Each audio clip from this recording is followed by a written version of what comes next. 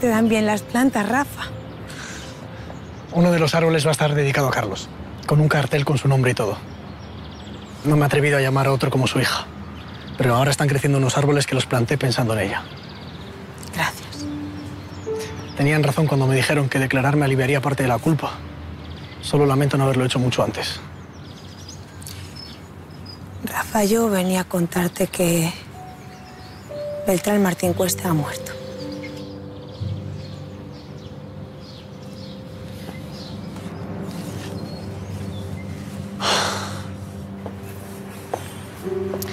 Después de tu declaración se sintió acorralado y, y vino a por mí.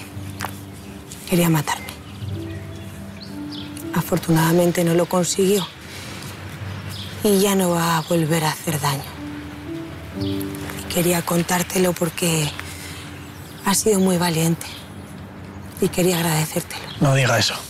Ni soy valiente ni me tiene que agradecer nada. Sí, sí lo has sido, sí. Te podrías haber quedado aquí en tu refugio, pero fuiste a declarar. Quiero pedirle perdón, Manolita, de todo corazón. Teníamos que haber ayudado a Marisol aquella noche. Si lo hubiéramos hecho, Ahora seguiría viva. Pero de nada sirve pensar en eso. ¿cuánto dolor hemos causado? Mucho. No te lo voy a negar. Pero todo el mundo se merece tener otra oportunidad, tú también. ¿Usted cree? Claro que sí. Aquí estás, tratando de recuperar tu vida y... Y yo te deseo lo mejor de corazón. Después de todo lo que le he hecho y en vez de odiarme, todavía me desea lo mejor. Yo no quiero cargar con el peso del odio.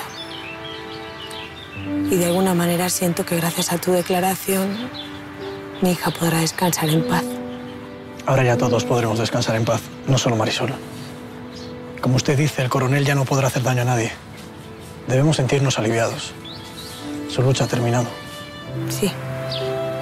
Aunque hayamos tenido que pagar un precio muy alto. En fin, me voy. Te deseo lo mejor, de verdad. Supongo que ya no nos vamos a volver a ver. Bueno, quién sabe. La vida da muchas vueltas. Adiós, Rafa.